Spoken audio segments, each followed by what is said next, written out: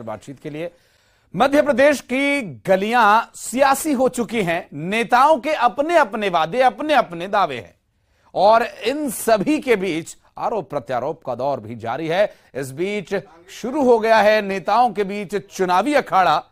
रणनीतिक उठापटक जारी है और राजनीतिक दलों के नेता अपनी अपनी पार्टी की गरिमा को तोड़ने का आरोप व्यक्तिगत तौर पर लगाना शुरू कर चुके हैं। अगर हम बीते दिनों की बात करें तो महाकौशल क्षेत्र की राजनीति में व्यक्तिगत आरोप भी खूब लगाए गए, जिसके बाद पलटवार के जवाब भी आए और निजी ज़िंदगी पर भी आरोप लगाते दिखाई दिए नेता।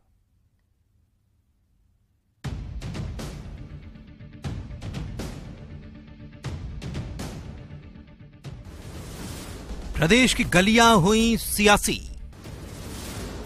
आरोप प्रत्यारोप का दौर हुआ शुरू। शुरू हुई जुबानी टशन।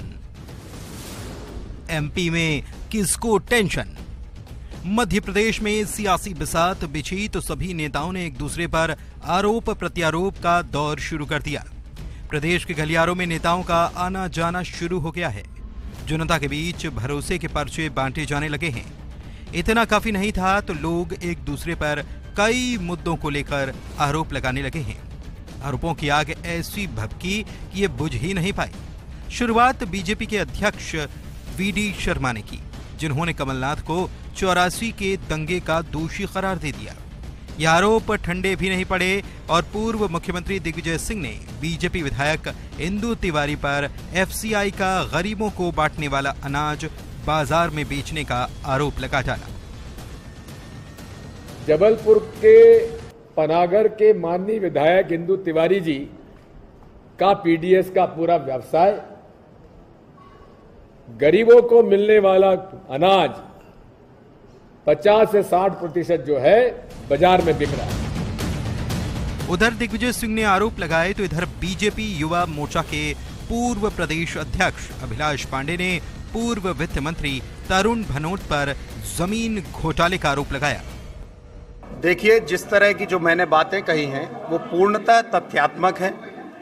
जबलपुर के अंदर खसरा नंबर दो सौ बासठ, जिस खसरे में सरकारी ज़मीन और कुटवार की ज़मीन को ऐसे मासूमों को बेच दिया गया है, जो बेचारे पूरे जीवन भर की कमाई के बाद अपना मकान बनाते हैं और उनके साथ छलावा करने का काम जिस नाम से हुआ है, वो नाम किससे जुड़े हुए हैं, उनके आका कौन हैं अपने शिष्यों के नाम पर वो ज़मीन लेकर और फिर उसको उनके आकाओं ने लोगों को बेचा है। बीजेपी ने जब कांग्रेस विधायक पर आरोपों की झड़ी लगाई तो उन्होंने भी पलटवार किया और कहा कि जिसकी जैसी मानसिकता वैसी सोच होती है। अगर मेरे ऊपर आरोप हैं तो जाँच करवा ली जाए। पर जिसकी जैसी मानसिकता होती है वो वैसे ही काम करता है। मेरा ये मानना है कि अगर मैंने कुछ भी गलती की है तो सारी सरकारी एजेंसियाँ आपके पास हैं। जाँच कराएँ जो उच्चतम स्तर की जाँच हो सकती है वो करें। दूध का दूध पानी का पानी हो जाएगा। कांग्रेस के जवाब के बावजूद बीजेपी नेता यही नहीं रुके। बल्कि बीजेपी ने साफ़ कहा कि कांग्रेस विधायकों ने जनता को ठगने का काम किया और अपने आप को बचाने के लिए दिग्विजय सिंह को आगे करके अनर्गल बातें करते हैं। लगा रहे हैं। आए दिन आप दिग्विजय सिंह जी को आए दिन आप अपने नेता प्रतिपक्ष को बुलाकर जो इस तरह के अनर्गल प्रलाप करने का काम कर रहे हैं, मैं इन दोनों से कहना चाहता हूँ कि जनता सब जानती है और जनता को सब पता है। और जिस तरह से आप लगातार प्रहार करने का काम कर रहे हैं, भारतीय जनता पार्टी मर्यादित रहने वाला संगठन है। हम मर्यादा का पालन करेंगे, लेकिन कोई हमें छेड़ेगा तो उसे छोड़ेंगे नहीं। सुना आपने, बीजेपी नेता साफ़ कहते हैं हम मर्यादा का पालन करेंगे, लेकिन कोई छेड़ा तो छोड़ेंगे नहीं। हालाँकि इस मामले को लेकर राजनीतिक दलों के अलग अलग तर्क हैं। इस मामले को लेकर बीजेपी सांसद राकेश सिंह ने कहा कि व्यक्तिगत आरोप चिंता की बात है। राजनीति में कमर के नीचे वार नहीं किए जाते। जनता सभी को करना चाहिए। दो बातें अलग अलग हैं। एक व्यक्तिगत आरोप कितना व्यक्तिगत है, और एक वो व्यक्तिगत आरोप जिसके साथ भ्रष्टाचार या समाज जुड़ा हुआ है। दोनों में फ़र्क है, लेकिन फिर भी मैं मानता हूँ कि कमर के नीचे वार नहीं होना चाहिए। जहाँ समाज के साथ जुड़ी हुई कोई बात है, उस पर ज़रूर वो बात उजागर होना चाहिए, लेकिन उससे हटकर केवल राजनीति करने के लिए व्यक्तिगत आरोप नहीं होना चाहिए। बहरहाल, विधानसभा चुनाव को अभी छह महीने बाकी हैं। और व्यक्तिगत और निजी आरोपों का दौर शुरू हो चुका है। आने वाले समय में जैसे जैसे चुनाव नज़दीक आएँगे, आरोप प्रत्यारोप का दौर और भी देखने को मिलेगा। लेकिन सवाल यह है कि क्या जनता इनके आरोप प्रत्यारोप में फंसकर कोई फैसला लेगी या फिर प्रदेश के विकास और अन्य मुद्दों को देखकर? न्यूज़ 18 के लिए जबलपुर से पवन पटेल की रिपोर्ट। चुनावी बेला है, बीजेपी और कांग्रेस की तैयारियाँ भी ज़ोर शोर से चल रही है। लेकिन अब मध्य प्रदेश की सियासत में तीसरे मोर्चे पर ओवैसी की पार्टी की एंट्री होने वाली है। तो क्या यह तीसरा मोर्चा और ओवैसी की पार्टी भाजपा और कांग्रेस द्वारा लगाए जा रहे एड़ी चोटी के दम को लेकर कुछ खेल बिगाड़ने का काम करेगी? चुनाव में एआईएमआईएम की एंट्री से बदलेगा खेल। कांग्रेस के वोट में सेंध लगाने की तैयारी। किसे होगा फ़ायदा, किसका होगा नुकसान?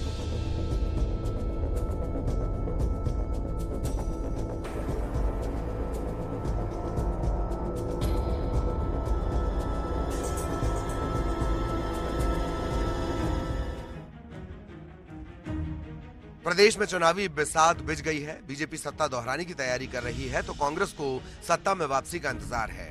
लेकिन अब सत्ता की कुर्सी के बीच एक दीवार खड़ी होने जा रही है। ये दीवार है ए आई एम आई एम की, जो कांग्रेस और बीजेपी का खेल बिगाड़ने के लिए तैयार है। ओवैसी की पार्टी का दावा है कि वो 50 सीटों पर इंडिपेंडेंट चुनाव लड़ेगी। वहीं अन्य सीटों पर तीसरे मोर्चे के सहयोगी दलों के साथ किला भेदने की तैयारी में है। एआईएमआईएम के नेता तो साफ़ कहते हैं कि कांग्रेस को वोट देना यानी बीजेपी को वोट देने के बराबर है, क्योंकि कांग्रेस के नेता जीतकर तो जाएँगे बीजेपी में ही। मध्य प्रदेश में आने वाले विधानसभा चुनाव में हर हाल में 50 सीटों पर चुनाव लड़ने जा रहे हैं। ये हमारी अभी तैयारी है। जिसमें से हमने अभी 33 सीटों को चिन्हित किया है, जिसपे सर्वे कराया गया है हमारा, हमारे अपने कार्यकर्ताओं द्वारा। जो सीटें अभी तैतीस है, उसमें तो लगभग लगभग फाइनल है। बाकी की सीटों को भी हम लोग देख रहे हैं। पचास पर हम चुनाव लड़ेंगे। तो क्या ये मान लिया जाए कि एआईएमआईएम की प्रदेश की सियासत में एंट्री से कांग्रेस और बीजेपी का नुकसान होने वाला है? हालाँकि बीजेपी तो इस बात से इनकार करती है और एआईएमआईएम को कांग्रेस की बी टीम बताती है। बीजेपी का तो साफ़ कहना है कि कांग्रेस एआईएमआईएम की एंट्री करवाकर कितनी भी रणनीति बना ले, बीजेपी के किले को भेद नहीं पाएगी। कांग्रेस की बी टीम है, कांग्रेस की रणनीति है। कहीं ना कहीं कांग्रेस के जिस तरह के नेताओं के बयान सामने आ रहे हैं, दिग्विजय सिंह कह रहे हैं, मुस्लिमों की जनसंख्या कम हो रही कमलनाथ जी छिंदवाड़ा में रोजा इफ्तार में जाते हैं तो वहाँ लोगों को दंगे का भय दिखाते हैं और ये मुद्दों से भटकाने वाला चुनाव करते हैं, इसलिए ओवैसी की एंट्री करा रहे हैं।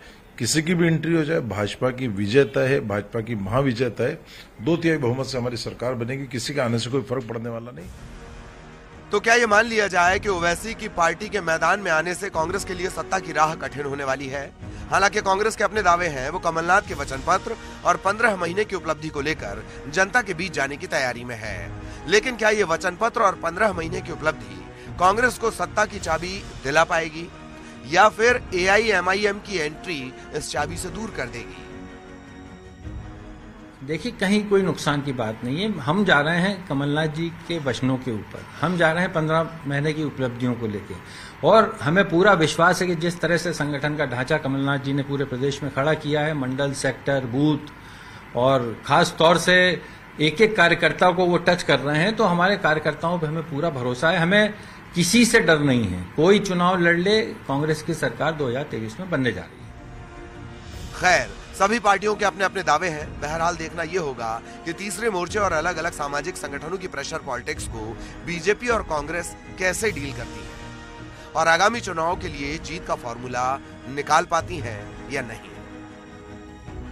न्यूज़ 18 के लिए भोपाल से वासु चौरे की रिपोर्ट। और यहाँ एक छोटे से ब्रेक के लिए रुक रहे हैं।